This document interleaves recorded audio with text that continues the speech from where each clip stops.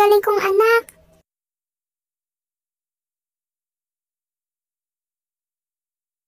Kung ganon, maraming salamat, Iha, sa impormasyon na binigay mo. Balitaan mo pa ako ng marami kung ano pa ang ginagawa ng aking anak. Oh, anong balita? Hay naku, Bright, itong anak mo. Sinusuway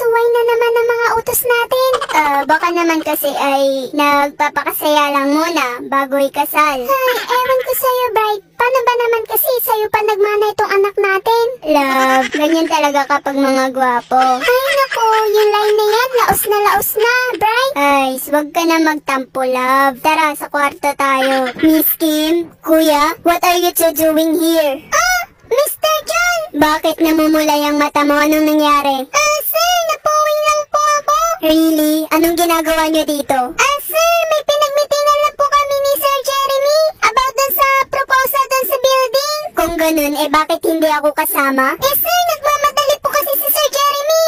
Kaya hindi na po kita na-contact. Ganun ba? Ah, by the way, Miss Kim, samahan mo ko. Saan po? Ah, tulungan mo akong pumili ng milk tea. Ah, milk tea, sir? Sure, no problem. Let's go. Ay, hindi ka pa rin nagbabago, Taylin. Mahilig ka pa rin sa milk tea. Sana yung nilalaman din ng puso mo ay ako pa rin. Taylin?